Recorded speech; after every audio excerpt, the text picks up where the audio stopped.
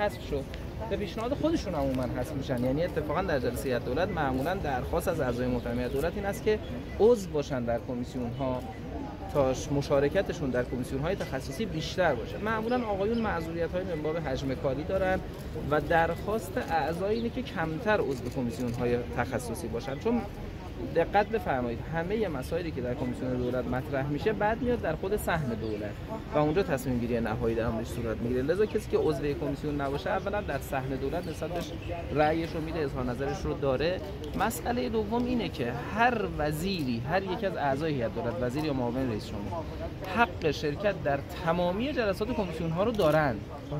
هر وزیر یا معاون رئیس جمهوری من تاکید می‌کنم مطابق آیین دولت حق شرکت در تمامی جلسات کمیسیون ها رو دارن. وقتی عضو بندی میشه کمیسیون ها به این معناست که بدون حضور اون اون اعضا اون کمیسیون رسمیت پیدا نمی‌کنه. یعنی حداقل باید دو سوم اون اعضا حاضر باشن تا کمیسیون رسمیت پیدا کنه. یعنی تکلیف به حضور دارن. پس اختلاف در مورد چیست در مورد اینکه من نوعی تکلیف به حضور در یک کمیسیون داشته باشم یا صرفا حق حضور داشته باشم.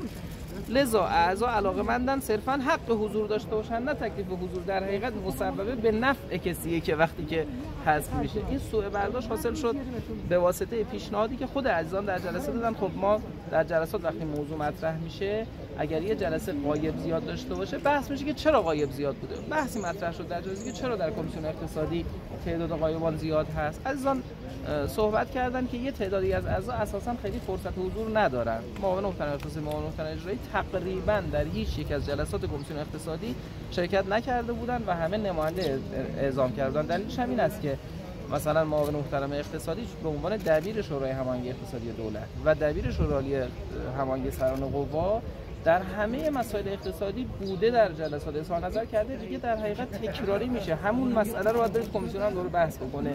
دوباره همون مسئله تو صحن دولت هم باید بحث بکنه. یعنی موضوع سه مرتبه باید بحث بکنه. خب براش مسئله تکراری میشه. حق هم هست که فرصت نکنه در جلسه حاضر بشه. پیشنهاد دادن که اسمشون از اعضای کمیسیون خارج بشه برای اینکه تکلیف به حضور نداشته باشن. حقشون نسبت به حضور هم که محفوظ هست و همیشه حاضر خواهد بود. لذا این گمان زنی ها و شایعات و مباحثی که مطرح شد تحلیل هایی که ناشی از عدم اشراف حقوقی نسبت به مفهوم کمیسیون های دولت جایگاهشون شهر وظایفشون و ارتباطشون با آقای جهرم این همه